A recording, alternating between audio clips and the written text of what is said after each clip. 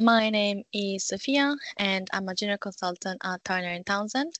We're joined today by Nathan Good, who's the Chief Strategy Officer, Officer at the Social Value Portal. This is a retrofit information support and expertise, so RISE event, which is fully funded by the Department of Energy Security and Net Zero, delivered by Turner and Townsend. I will now hand over to Nathan to start today's pre presentation.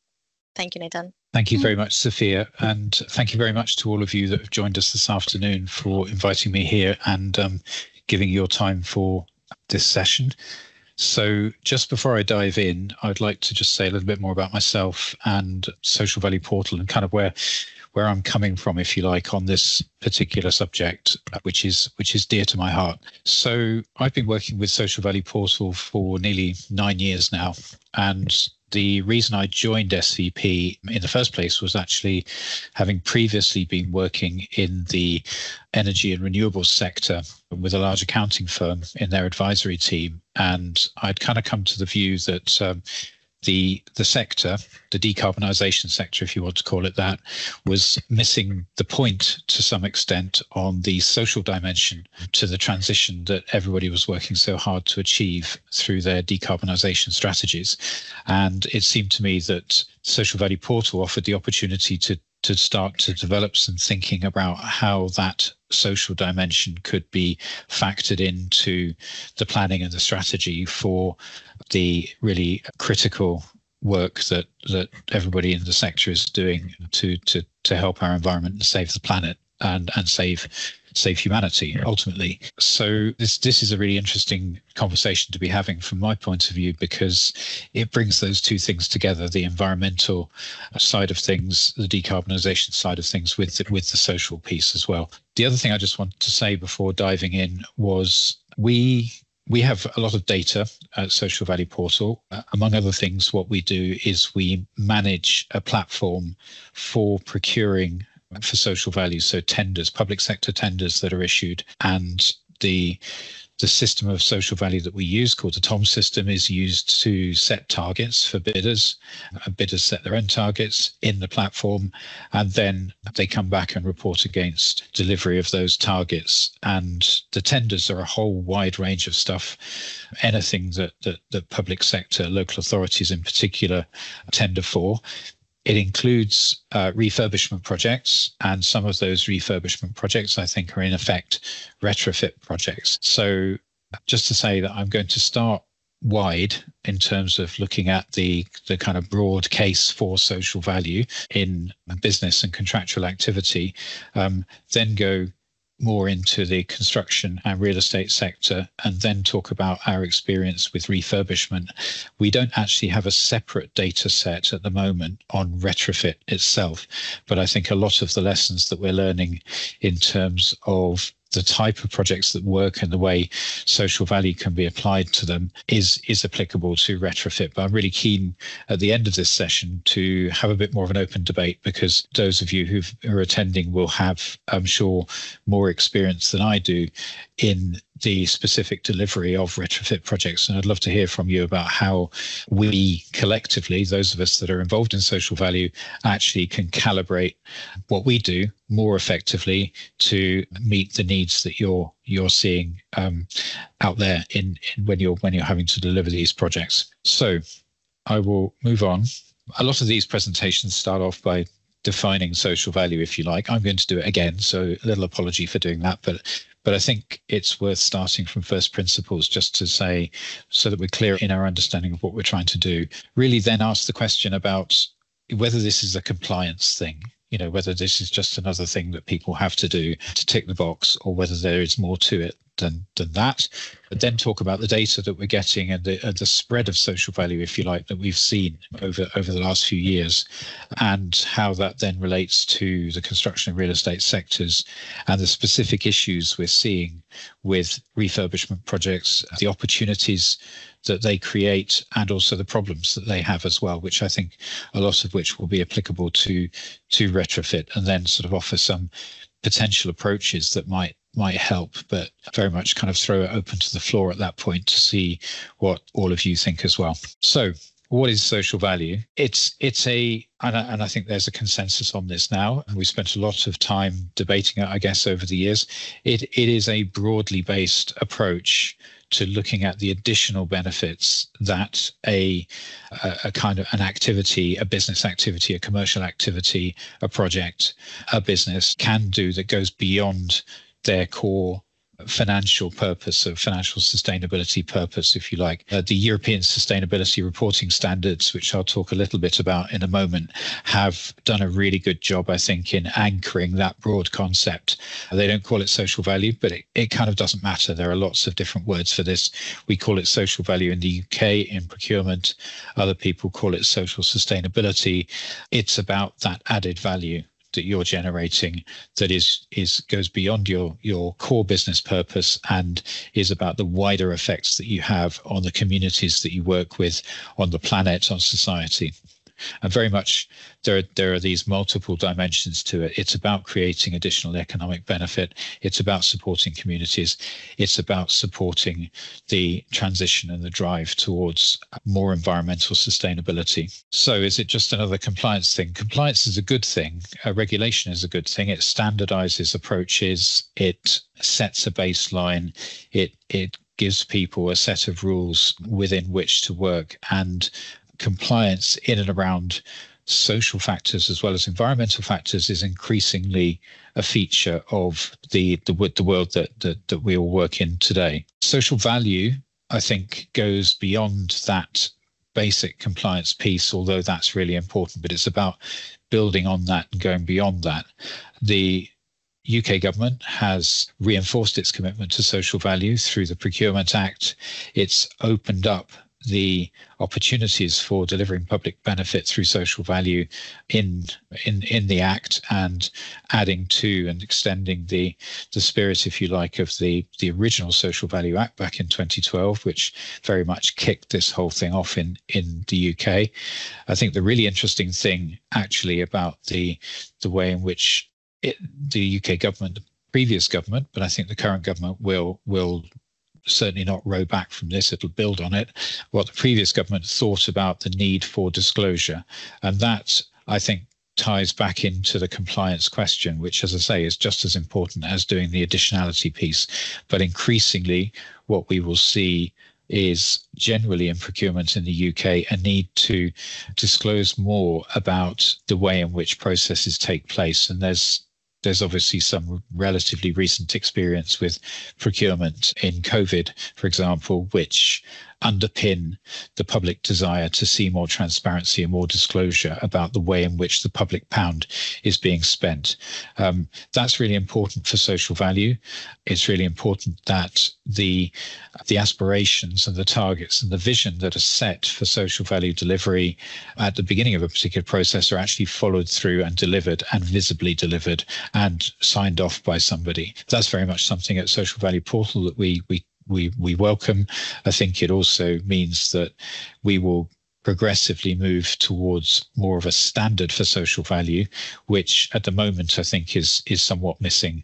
Social Value Portal has a way of measuring social value, but there are various other ways of doing it out in the market as well.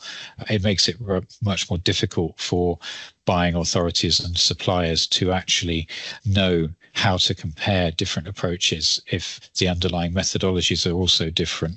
So I think the drive towards greater transparency will just support that progression towards creating a standard and underpinning the uh, delivery of social value. At the same time, we're getting market convergence. So the private sector is coming to this from a separate route, but the end result is is is converging. And by that I mean that the the the environmental sustainability progression that we've seen over the last 10 or 15 years is now being reinforced by a social approach as well.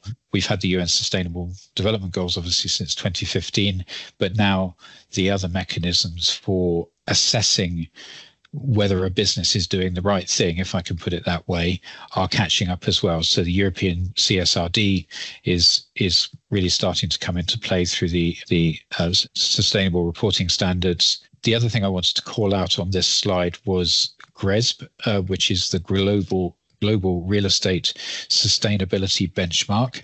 And increasingly, this is a it's a very extensively used standard of certification that is used in the real estate sector. And the increasing focus within GRESB is on the social components as well as the environmental components. And Social Value Portal actually has a tool that is certified by GRESB to contribute to that social side of reporting as well as simply disclosing for example carbon efficiency or energy efficiency within, within a building. So GRESB is very much moving towards that combined social and environmental assessment. CSRD is doing the same. Um, UN Sustainable Development Goals are, are, are very much a kind of comprehensive view which combines environmental and social. So that supports the move towards a greater integration of social value in, in our approach. And then some of you might recognize this. This is the this is the donut from Doughnut Economics which is a, a, great book. If if some of you haven't read it, please read it um, by Kate Raworth that was published back in 2017. But in this book, she designed her view of the donut, and essentially what the donut is, it's an outer ceiling from an ecological perspective, which we need to make sure we don't overshoot.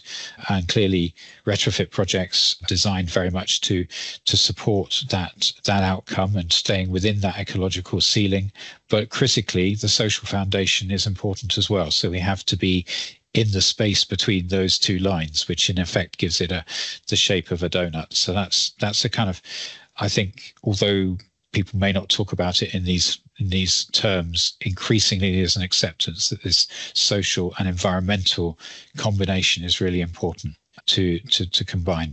So just moving to some of the data, what we have seen over the last few years is is an increasing amount of social value delivery.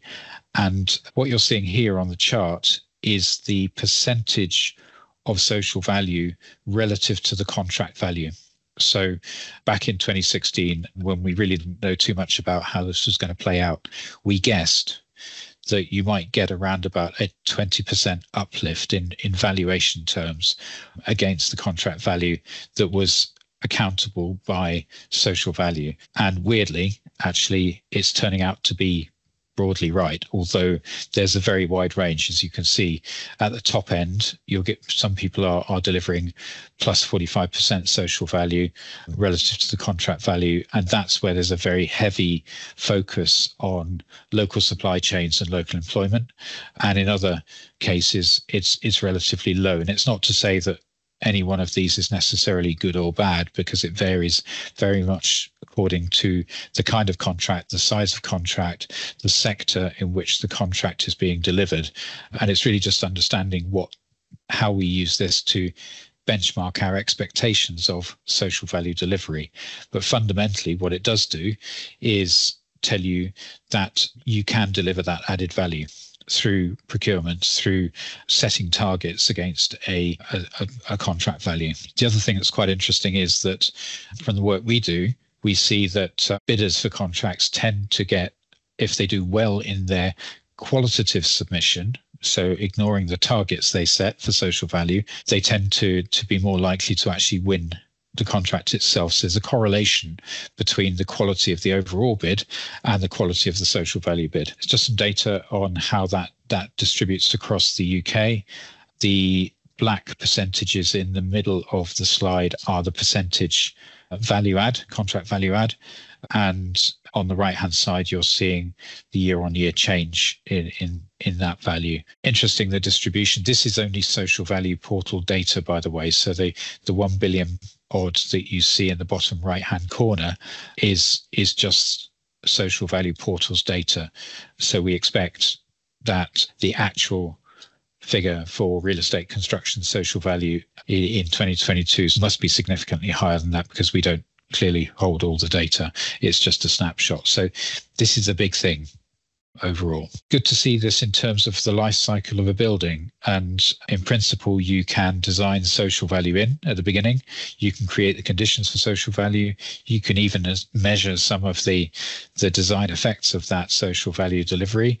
Construction is probably the, the, the most familiar area that, that people see in terms of social value and where social value has been most readily adopted because you do start with a more or less a kind of a clean site and you can think about you have a contract of a, a reasonable length that you can then think about in terms of how you bring those social value components in over a period of time.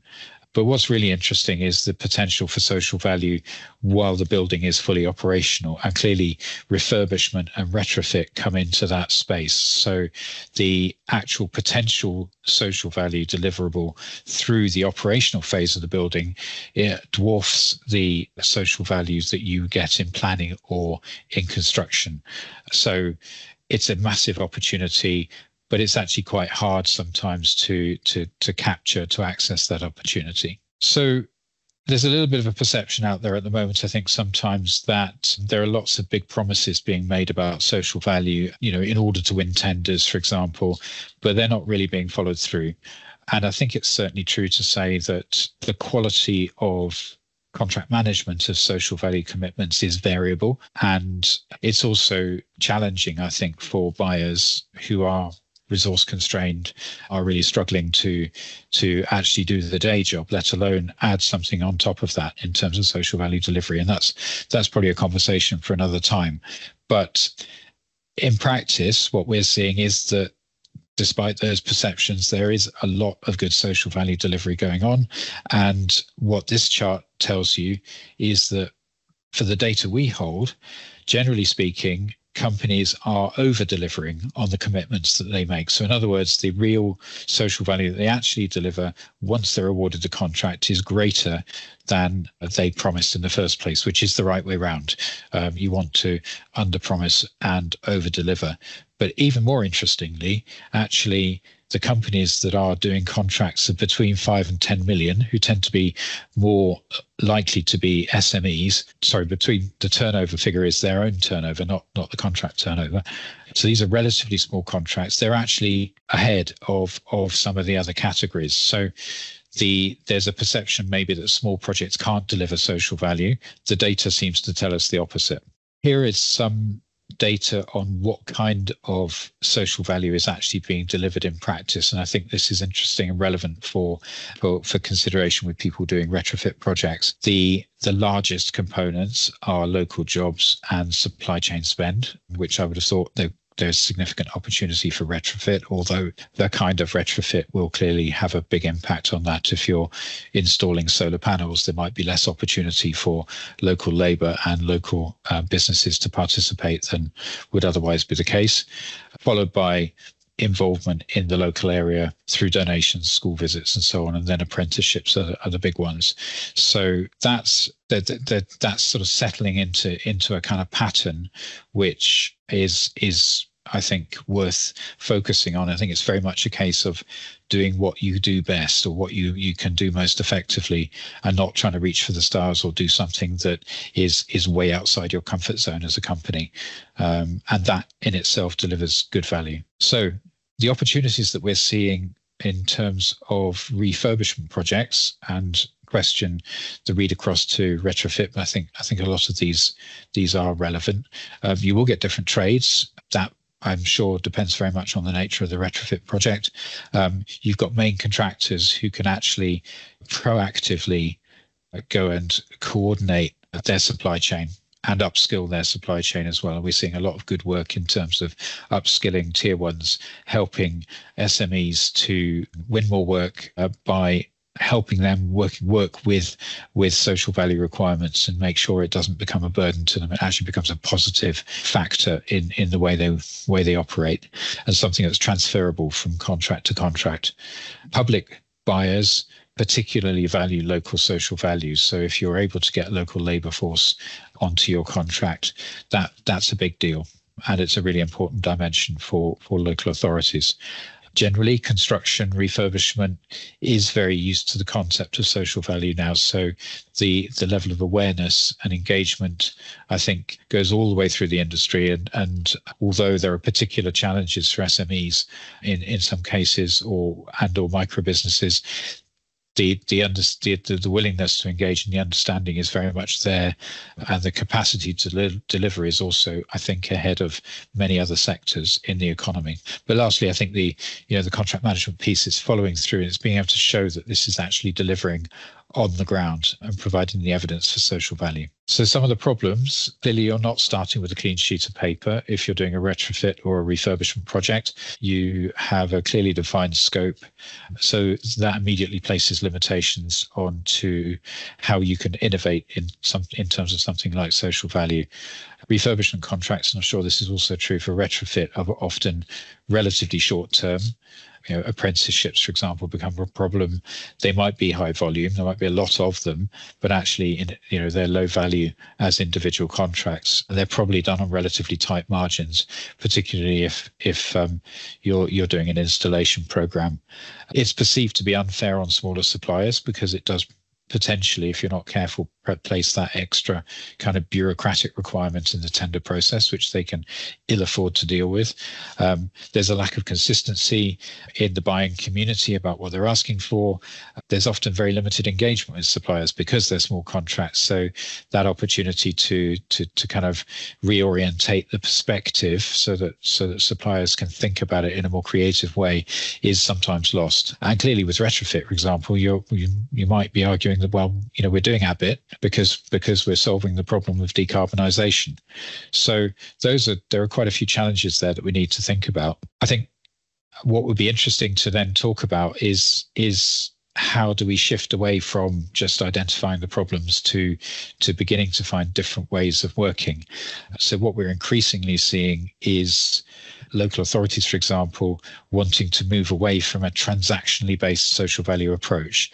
Um, so thinking about it at a, at a different level. So it's not not about saying put a set of requirements on each individual contract, but if you're running a framework, for example, set the um, the social value requirements at the framework level, or consider it in terms of the flow of work that's coming through or likely to come through over a period of time, and set the requirements in a way that that allow people to be flexible in in in what they can they can deliver. Actually, being really clear and definitive from a buyer end in terms of what you're looking for and tailoring that to suit the the context and the supply chain is is hugely valuable because it takes out a whole layer of uncertainty and investment time for for the for, for the companies that are looking to bid for those projects.